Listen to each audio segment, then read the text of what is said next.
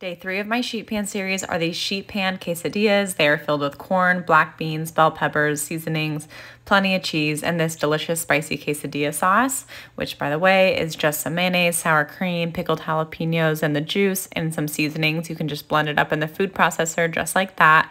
And then you can saute up the bell pepper and the white parts of the green onions with a little bit of garlic, and then toss in some black beans and corn, some more seasonings, and stir just until it's warm.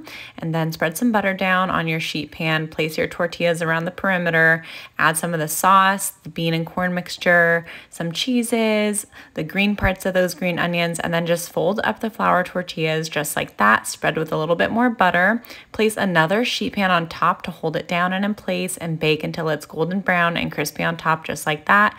Let it cool for just a little and then you can use a pizza cutter to cut into sections and then serve with your favorite toppings. I hope that you enjoy.